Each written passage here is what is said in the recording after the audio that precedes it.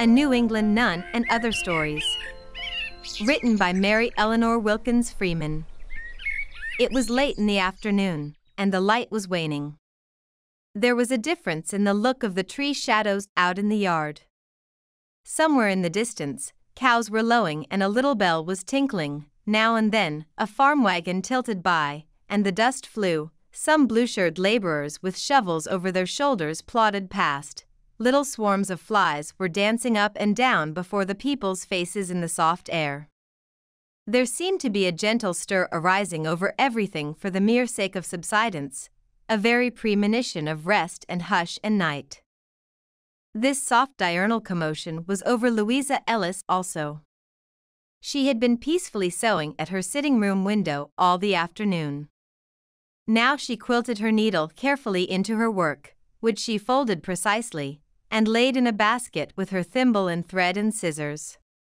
Louisa Ellis could not remember that ever in her life she had mislaid one of these little feminine appurtenances, which had become, from long use and constant association, a very part of her personality. Louisa tied a green apron round her waist and got out a flat straw hat with a green ribbon. Then she went into the garden with a little blue crockery bowl to pick some currants for her tea. After the currants were picked, she sat on the back door step and stemmed them, collecting the stems carefully in her apron and afterwards throwing them into the hen coop. She looked sharply at the grass beside the step to see if any had fallen there. Louisa was slow and still in her movements. It took her a long time to prepare her tea, but when ready, it was set forth with as much grace as if she had been a veritable guest to her own self. The little square table stood exactly in the center of the kitchen and was covered with a starched linen cloth whose border pattern of flowers glistened. Louisa had a damask napkin on her tea tray, where were arranged a cut glass tumbler full of teaspoons, a silver cream pitcher, a china sugar bowl, and one pink china cup and saucer. Louise used china every day, something which none of her neighbors did. They whispered about it among themselves. Their daily tables were laid with common crockery, their sets of best china stayed in the parlor closet, and Louisa Ellis was no richer nor better bred than they. Still, she would use the china. She had for her supper a glass dish full of sugared currants, a plate of little cakes, and one of light white biscuits. Also, a leaf or two of lettuce, which she cut up daintily. Louisa was very fond of lettuce, which she raised to perfection in her little garden. She ate quite heartily, though in a delicate, pecking way. It seemed almost surprising that any considerable bulk of the food should vanish. After tea, she filled a plate with nicely baked thin corn cakes and carried them out into the backyard. Caesar, she called. Caesar. Caesar. There was a little rush, and the clank of a chain, and a large yellow and white dog appeared at the door of his tiny hut, which was half hidden among the tall grasses and flowers. Louisa patted him and gave him the corn cakes. Then she returned to the house and washed the tea things, polishing the china carefully. The twilight had deepened, the chorus of the frogs floated in at the open window wonderfully loud and shrill, and once in a while a long sharp drone from a tree toad pierced it. Louisa took off her green gingham apron, disclosing a shorter one of pink and white print. She lighted her lamp and sat down again with her sewing. In about half an hour, Joe Dagget came. She heard his heavy step on the walk, and rose and took off her pink and white apron. Under that was still another, white linen with a little cambric edging on the bottom, that was Louisa's company apron. She never wore it without her calico sewing apron over it, unless she had a guest. She had barely folded the pink and white one with methodical haste, and laid it in a table drawer, when the door opened and Joe Dagget entered. He seemed to fill up the whole room. A little yellow canary that had been asleep in his green cage at the south window woke up and fluttered wildly, beating his little yellow wings against the wires. He always did so when Joe Dagget came into the room. Good evening, said Louisa. She extended her hand with a kind of solemn cordiality. Good evening, Louisa, returned the man, in a loud voice. She placed a chair for him, and they sat facing each other, with the table between them. He sat bolt upright, toeing out his heavy feet squarely, glancing with a good humored uneasiness around the room. She sat gently erect, folding her slender hands in her white linen lap. Been a pleasant day, remarked Dagget. Real pleasant, Louisa assented, softly. Have you been haying? She asked, after a little while. Yes, I've been haying all day, down in the 10 acre lot, pretty hot work. It must be. Yes, it's pretty hot work in the sun. Is your mother well today? Yes, mother's pretty well. I suppose Lily Dyer's with her now? Dagget colored. Yes, she's with her, he answered, slowly. He was not very young, but there was a boyish look about his large face. Louisa was not quite as old as he, her face was fairer and smoother, but she gave people the impression of being older. I suppose she's a good deal of help to your mother, she said, further. I guess she is. I don't know how mother'd get along without her, said Dagget, with a sort of embarrassed warmth. She looks like a real capable girl. She's pretty looking too, remarked Louisa. Yes, she is pretty fair looking. Presently Dagget began fingering the books on the table. There was a square red autograph album, and a young lady's gift book which had belonged to Louisa's mother. He took them up one after the other and opened them, then laid them down again, the album on the gift book. Louisa kept eyeing them with mild uneasiness. Finally, she rose and changed the position of the books, putting the album underneath. That was the way they had been arranged in the first place. Dagget gave an awkward little laugh. Now, what difference did it make which book was on top? said he. Louisa looked at him with a deprecating smile. I always keep them that way, murmured she. You do beat everything, said Dagget, trying to laugh again. His large face was flushed. He remained about an hour longer, then rose to take leave. Going out, he stumbled over a rug, and trying to recover himself, hit Louisa's workbasket on the table and knocked it on the floor. He looked at Louisa, then at the rolling spools. He ducked himself awkwardly toward them, but she stopped him. Never mind, said she, I'll pick them up after you're gone. She spoke with a mild stiffness. Either she was a little disturbed, or his nervousness affected her, and made her seem constrained in her effort to reassure him. When Joe Dagget was outside, he drew in the sweet evening air with a sigh, and felt much as an innocent and perfectly well intentioned bear might, after his exit from a china shop. Louisa, on her part, felt much as the kind hearted, long suffering owner of the china shop might have done after the exit of the bear.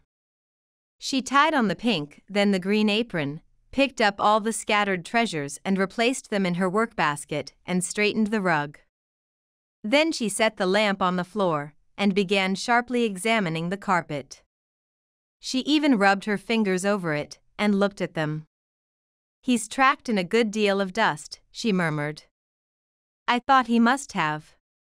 Louisa got a dustpan and brush and swept Joe Dagget's track carefully. If he could have known it, it would have increased his perplexity and uneasiness, although it would not have disturbed his loyalty in the least. He came twice a week to see Louisa Ellis, and every time, sitting there in her delicately sweet room, he felt as if surrounded by a hedge of lace. He was afraid to stir, lest he should put a clumsy foot or hand through the fairy web, and he had always the consciousness that Louisa was watching fearfully lest he should. Still, the lace in Louisa commanded perforce his perfect respect and patience and loyalty. They were to be married in a month, after a singular courtship which had lasted for a matter of fifteen years. For fourteen out of the fifteen years, the two had not once seen each other, and they had seldom exchanged letters. Joe had been all those years in Australia, where he had gone to make his fortune, and where he had stayed until he made it. He would have stayed fifty years if it had taken so long, and come home feeble and tottering, or never come home at all, to marry Louisa. But the fortune had been made in the 14 years, and he had come home now to marry the woman who had been patiently and unquestioningly waiting for him all that time. Shortly after they were engaged, he had announced to Louisa his determination to strike out into new fields and secure a competency before they should be married. She had listened and assented with the sweet serenity which never failed her, not even when her lover set forth on that long and uncertain journey. Joe, buoyed up as he was by his sturdy determination, broke down a little at the last, but Louisa kissed him with a mild blush and said goodbye. It won't be for long, poor Joe had said, huskily, but it was for 14 years. In that length of time, much had happened. Louisa's mother and brother had died, and she was all alone in the world. But greatest happening of all, a subtle happening which both were too simple to understand, Louisa's feet had turned into a path, smooth maybe under a calm, serene sky, but so straight and unswerving that it could only meet a check at her grave, and so narrow that there was no room for anyone at her side. Louisa's first emotion when Joe Dagget came home, he had not apprised her of his coming, was consternation, although she would not admit it to herself, and he never dreamed of it. Fifteen years ago, she had been in love with him, at least she considered herself to be. Just at that time, gently acquiescing with and falling into the natural drift of girlhood, she had seen marriage ahead as a reasonable feature and a probable desirability of life. She had listened with calm docility to her mother's views upon the subject.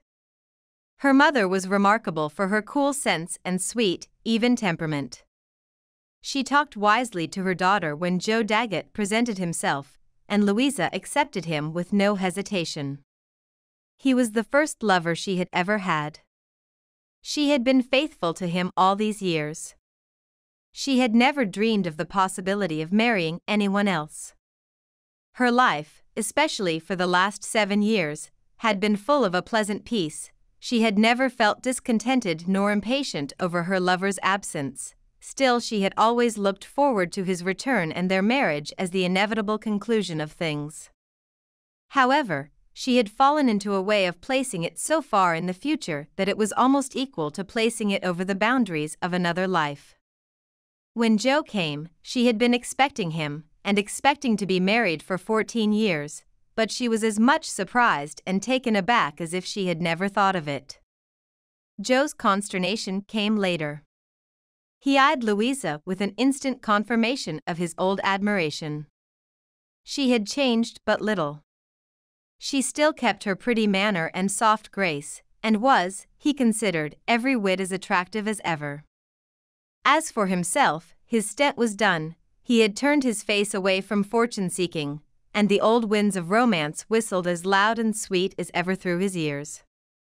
All the song which he had been wont to hear in them was Louisa. He had for a long time a loyal belief that he heard it still, but finally it seemed to him that although the winds sang always that one song, it had another name. But for Louisa, the wind had never more than murmured, now it had gone down, and everything was still. She listened for a little while with half wistful attention, then she turned quietly away and went to work on her wedding clothes. Joe had made some extensive and quite magnificent alterations in his house. It was the old homestead, the newly married couple would live there, for Joe could not desert his mother, who refused to leave her old home. So, Louisa must leave hers. Every morning, rising and going about among her neat maidenly possessions, she felt as one looking her last upon the faces of dear friends.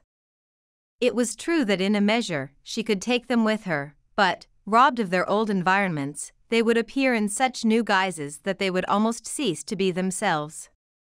Then there were some peculiar features of her happy solitary life, which she would probably be obliged to relinquish altogether. Sterner tasks than these graceful but half needless ones would probably devolve upon her. There would be a large house to care for, there would be company to entertain, there would be Joe's rigorous and feeble old mother to wait upon, and it would be contrary to all thrifty village traditions for her to keep more than one servant. Louisa had a little still, and she used to occupy herself pleasantly in summer weather with distilling the sweet and aromatic essences from roses and peppermint and spearmint. By and by her still must be laid away. Her store of essences was already considerable, and there would be no time for her to distill for the mere pleasure of it. Then Joe's mother would think it foolishness, she had already hinted her opinion in the matter. Louisa dearly loved to sew a linen seam, not always for use, but for the simple, mild pleasure which she took in it. She would have been loath to confess how more than once she had ripped a seam for the mere delight of sewing it together again. Sitting at her window during long sweet afternoons, drawing her needle gently through the dainty fabric, she was peace itself. But there was small chance of such foolish comfort in the future. Joe's mother, domineering, shrewd old matron that she was even in her old age, and very likely even Joe himself, with his honest masculine rudeness, would laugh and frown down all these pretty but senseless old maiden ways. Louisa had almost the enthusiasm of an artist over the mere order and cleanliness of her solitary home. She had throbs of genuine triumph at the sight of the window panes, which she had polished until they shone like jewels. She gloated gently over her orderly bureau drawers, with their exquisitely folded contents redolent with lavender and sweet clover and very purity. Could she be sure of the endurance of even this? She had visions, so startling that she half repudiated them as indelicate, of coarse, masculine belongings strewn about in endless litter, of dust and disorder arising necessarily from a coarse masculine presence in the midst of all this delicate harmony. Among her forebodings of disturbance, not the least was with regard to Caesar. Caesar was a veritable hermit of a dog. For the greater part of his life, he had dwelt in his secluded hut, shut out from the society of his kind and all innocent canine joys. Never had Caesar since his early youth watched at a woodchuck's hole, never had he known the delights of a stray bone at a neighbor's kitchen door and it was all on account of a sin committed when hardly out of his puppyhood. No one knew the possible depth of remorse of which this mild visaged, altogether innocent looking old dog might be capable, but whether or not he had encountered remorse, he had encountered a full measure of righteous retribution. Old Caesar seldom lifted up his voice in a growl or a bark, he was fat and sleepy. There were yellow rings which looked like spectacles around his dim old eyes, but there was a neighbor who bore on his hand the imprint of several of Caesar's sharp white youthful teeth, and for that, he had lived at the end of a chain, all alone in a little hut, for fourteen years. The neighbor, who was choleric and smarting with the pain of his wound, had demanded either Caesar's death or complete ostracism. So Louisa's brother, to whom the dog had belonged, had built him his little kennel and tied him up.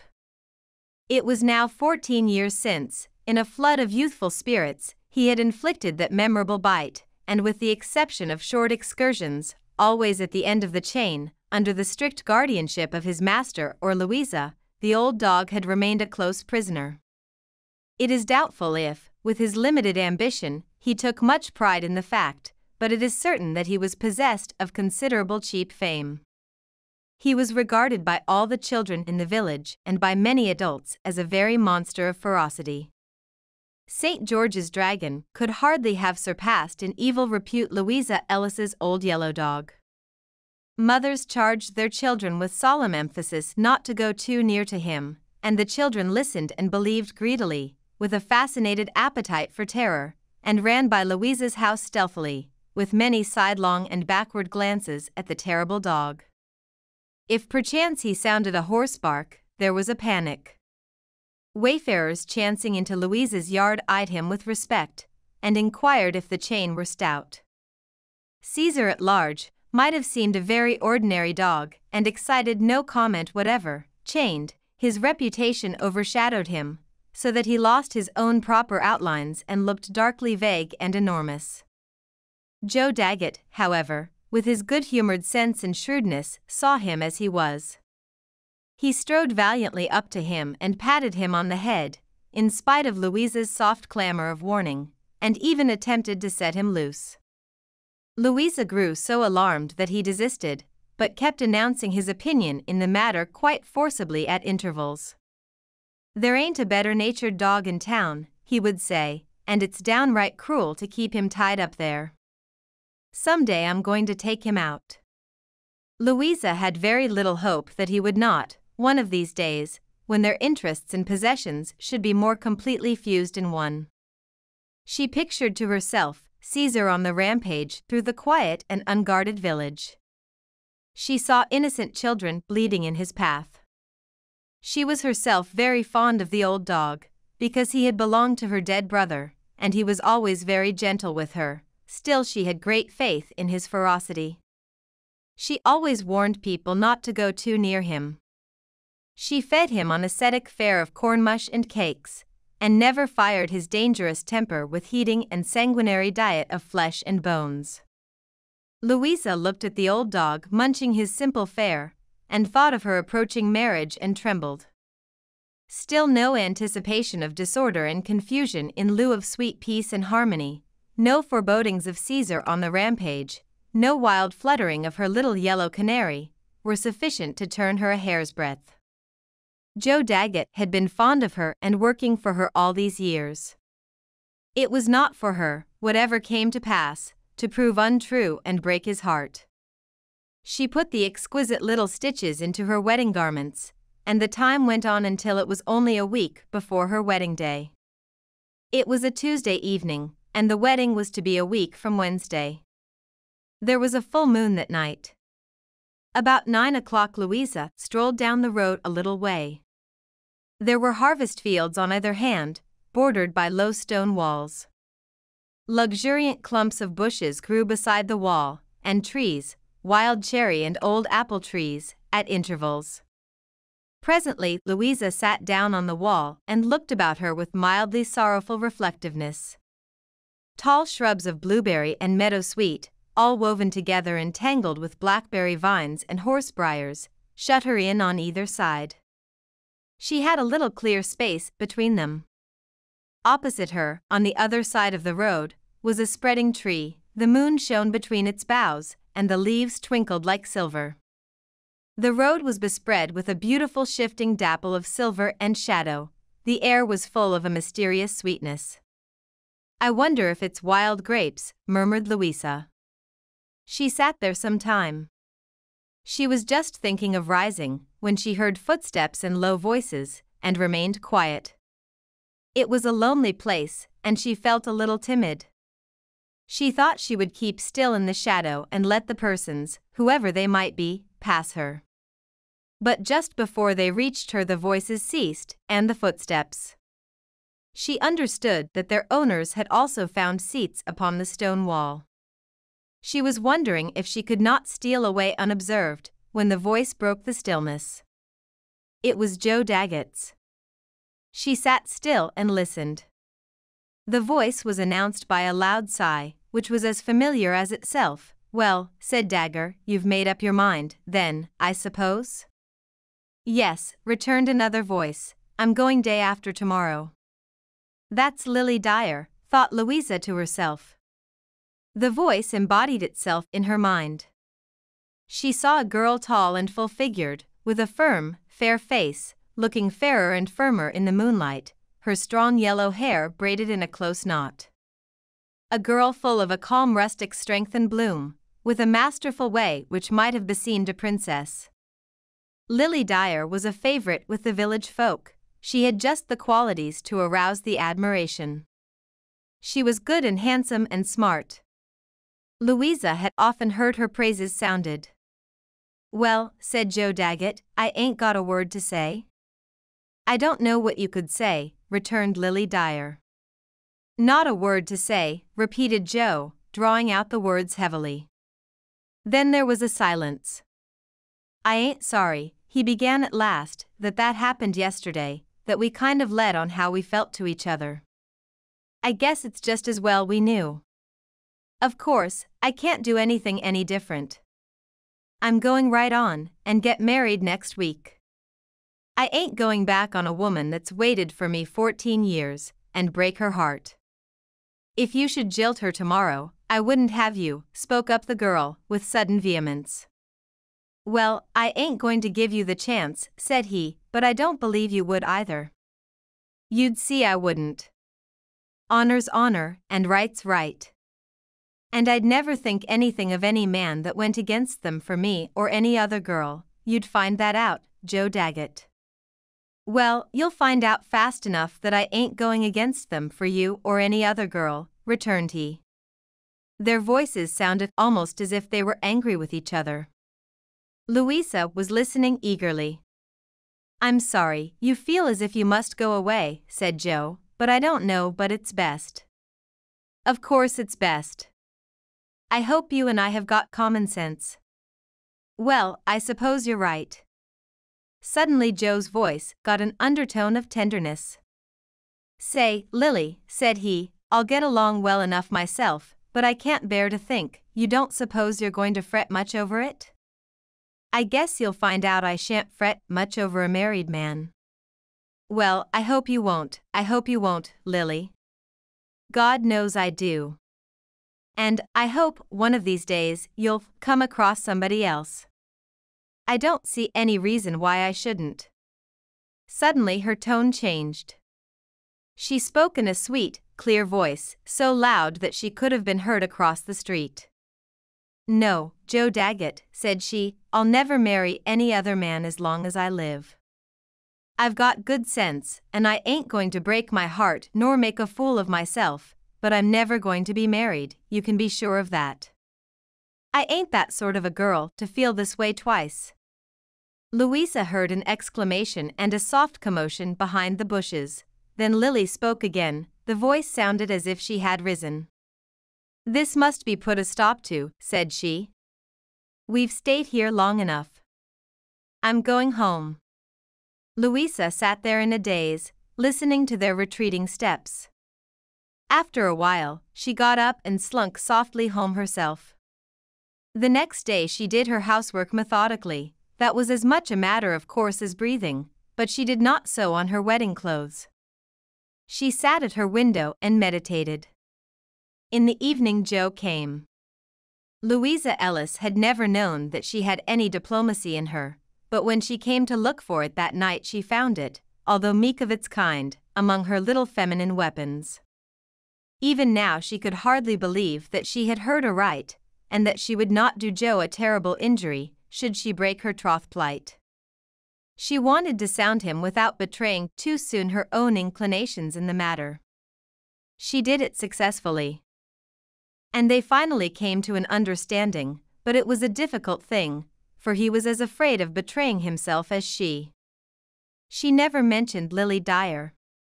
She simply said that while she had no cause of complaint against him, she had lived so long in one way that she shrank from making a change. Well, I never shrank, Louisa, said Dagget. I'm going to be honest enough to say that I think maybe it's better this way, but if you'd wanted to keep on, I'd have stuck to you till my dying day. I hope you know that. Yes, I do, said she. That night, she and Joe parted more tenderly than they had done for a long time. Standing in the door, holding each other's hands, a last great wave of regretful memory swept over them. Well, this ain't the way we've thought it was all going to end, is it, Louisa? said Joe. She shook her head. There was a little quiver on her placid face. You let me know if there's ever anything I can do for you, said he. I ain't ever going to forget you, Louisa. Then he kissed her and went down the path. Louisa, all alone by herself that night, wept a little, she hardly knew why, but the next morning, on waking, she felt like a queen who, after fearing lest her domain be wrested away from her, sees it firmly insured in her possession. Now the tall weeds and grasses might cluster around Caesar's little hermit hut, the snow might fall on its roof year in and year out, but he never would go on a rampage through the unguarded village. Now the little canary might turn itself into a peaceful yellow ball night after night, and have no need to wake and flutter with wild terror against its bars. Louisa could sew linen seams, and distill roses, and dust and polish and fold away in lavender, as long as she listed. That afternoon she sat with her needlework at the window, and felt fairly steeped in peace. Lily Dyer, tall and erect and blooming, went past, but she felt no qualm. If Louisa Ellis had sold her birthright, she did not know it, the taste of the pottage was so delicious, and had been her sole satisfaction for so long. Serenity and placid narrowness had become to her as the birthright itself. She gazed ahead through a long reach of future days strung together like pearls in a rosary, every one like the others, and all smooth and flawless and innocent, and her heart went up in thankfulness.